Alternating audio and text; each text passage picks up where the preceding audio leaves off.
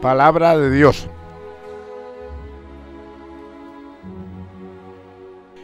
Dijo Jesús al gentío,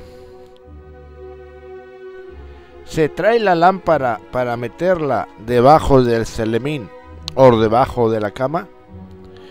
¿No es para ponerla en el candelero?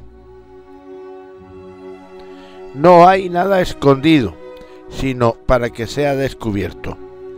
No hay nada oculto, sino para que salga a la luz. El que tenga oídos para oír, que oiga.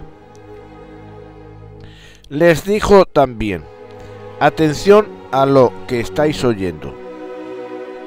La medida que uséis la usarán con vosotros y con creces. Porque al que tiene se le dará, y al que no tiene se le quitará hasta lo que tiene. Es palabra de Dios.